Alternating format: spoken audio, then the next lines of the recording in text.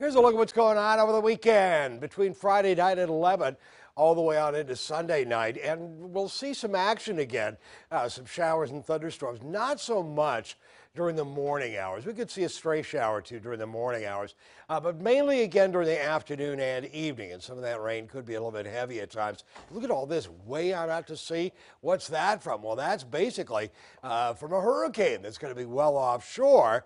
It's going to give us some terrific, terrific surf. However, rip current threat is going to be big, uh, so surfing is going to be, or to be uh, uh, uh, swimming is going to be dangerous coming up for the day tomorrow, likely on Sunday too. Sunday, uh, it'll be a little warmer, highs around 90 degrees, uh, with a chance of rain late in the afternoon coming up on Sunday, too. Neither one of these days look to be a washout. A little bit better chance of rain coming up on Saturday, 84, around 90 on Sunday. Slight chance of rain late in the day.